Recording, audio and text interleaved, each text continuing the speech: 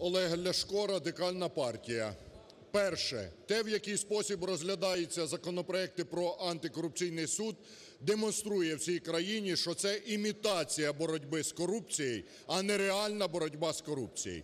Друге. Розгляд цього законопроекту Верховній Раді доводить правильність позиції Радикальної партії, коли ми не голосували за жоден із поданих Президентом України законопроектів щодо судової реформи, тому що це насправді така сама імітація судової реформи, як і те, що сьогодні тут робиться.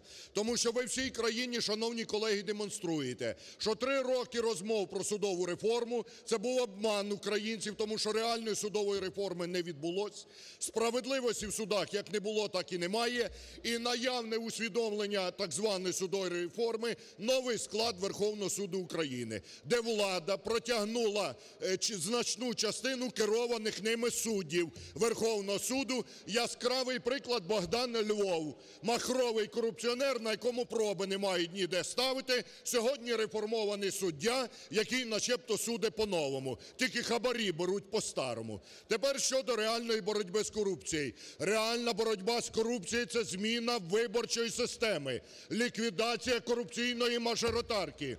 Реальна боротьба з корупцією – це прийняття закону про імпічмент Президента України. Реальна боротьба з корупцією – це закон про тимчасові слідчі комісії Верховної Ради як парламентський інструмент контролю за е, виконавчою владою, за Президентом України.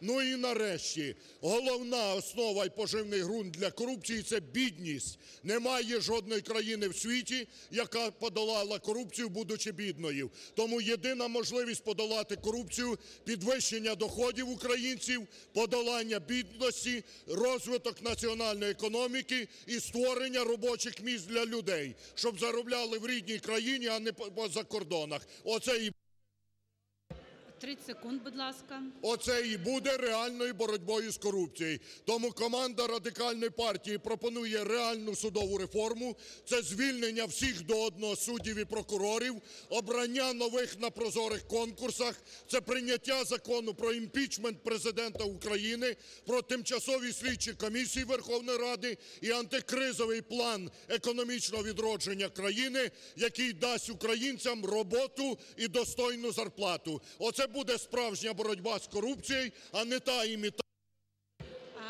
Дякуємо. Будь ласка, Валерій Писаренко, який буде виступати від групи «Відродження». Прошу вас до виступу.